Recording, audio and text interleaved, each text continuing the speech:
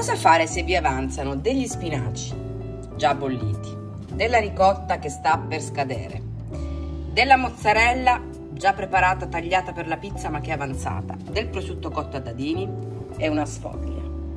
Faremo una ricetta stupenda che sono sicura vi piacerà tantissimo.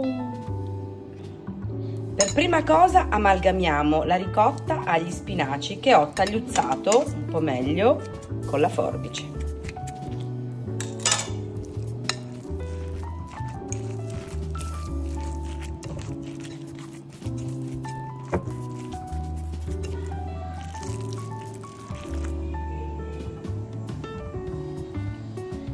Stendiamo in modo omogeneo su tutta la superficie della sfoglia aiutandovi con una forchetta.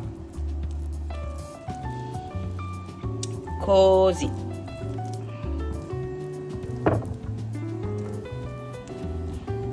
Quindi aggiungiamo la mozzarella e il prosciutto cotto.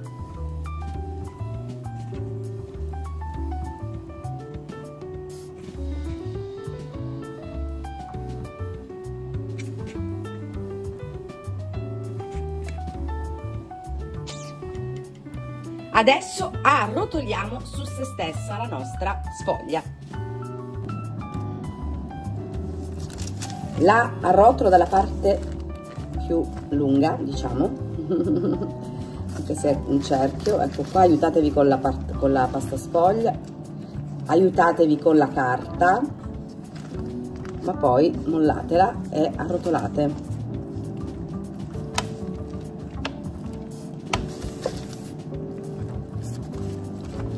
Voilà. Bene. Chiudete i bordi così. Chiudete l'altro bordo così. E allungatela un po' con le manine sante in modo che sia un po' più lunghetta. Chiudete bene ma tanto non importa perché tanto la vedrete come la utilizzeremo. Ecco qua. Potete benissimo allungarla con le manine tanto è bella cicciosa. Adesso appena ha raggiunto la forma desiderata possiamo chiudere e fare la nostra ciambella. Ecco fate aderire bene i due bordi. Così ma non abbiamo ancora finito. Adesso la metterò in una teglia e vedrete come la renderò graziosa.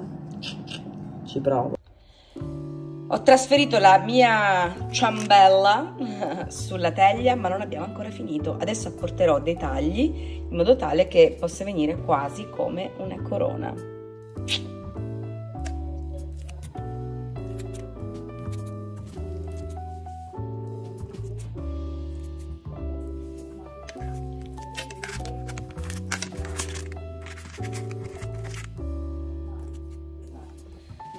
Adesso spennelliamo con tuorlo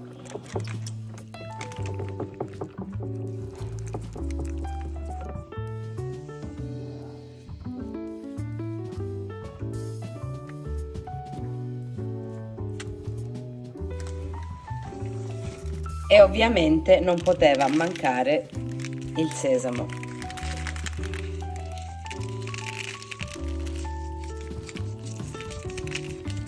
Andiamo in forno 180 gradi per 30-35 minuti da controllare.